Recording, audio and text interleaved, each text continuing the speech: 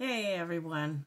So the other day I was talking to a friend about a thing that used to happen in my life when I was a kid on a really regular basis. Um, I went to a little country church. If you've met me, you know much about me, you know that I grew up in just kind of a quintessential little country church. And they had this tradition uh, every fifth Sunday, we would either have a potluck after church or uh, the next fifth Sunday, we would have like this dessert blowout after church on Sunday night. Now, I'm dating myself a little bit because this is back in the day when uh, you know church wasn't one time a week on Sunday morning. It was it was three times a week minimum. You know, you had the the Sunday morning thing with the Sunday school and then church, and then you had like the fellowship time in between, and and then you had Sunday evening service, of course, for choir practice and youth group, and well, who knows what else everybody else was doing during all that. And then on Wednesday night, you had Bible study and more. Oh, yeah. Anyway, so we had these uh, potluck dinners every fifth Sunday, or then we would have uh, linger longers with the desserts. We got to talking about these potluck dinners, and it seemed so ubiquitous. And I was wondering what you guys remember of potluck dinners.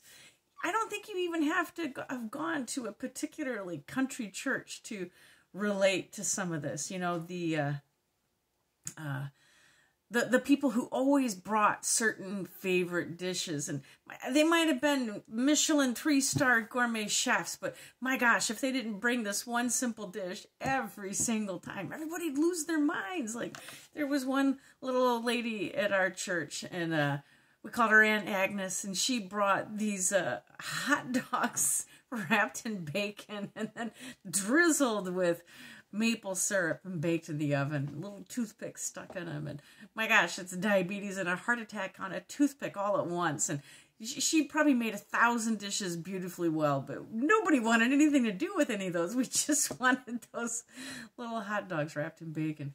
Uh, and there were other people who would, you know, they always brought this particular hot dish, you know, or this particular casserole if you're from that part of the country. And uh, they always or the, the person who always brought the, the fried chicken that tastes just like Kentucky Fried Chicken. And if you didn't know this, once upon a time, Kentucky Fried Chicken was delicious.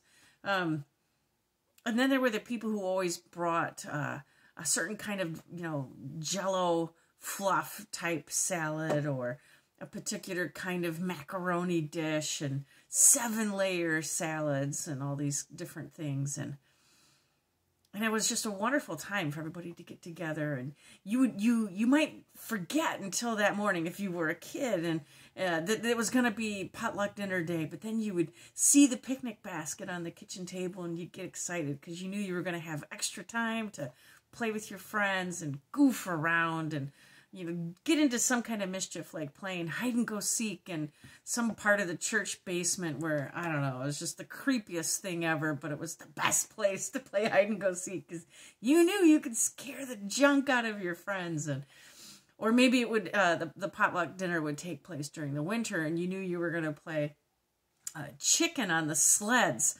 flying down the hill and, Oh my gosh, the brutality of it. And we did all this on this potluck food. What were we thinking? But it wasn't even really about the food, was it? I mean, certainly not for the kids, but not even for the adults. It was it was about the conversations, the memories.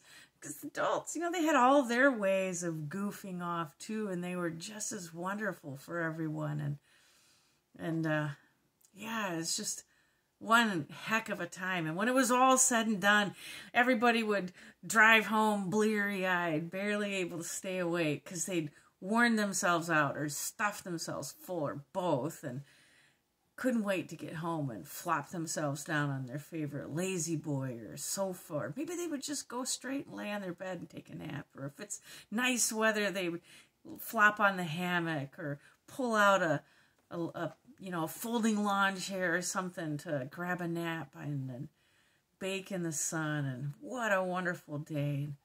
Well, anyway, I hope you guys um, have memories of church potlucks full of lots of people laughing and talking. And even if there was that one person who did that gross thing where they put like uh, chicken on the bottom of their plate and then seven layer salad on top and dessert on top of that you still went home at the end of the day having had a pretty great day.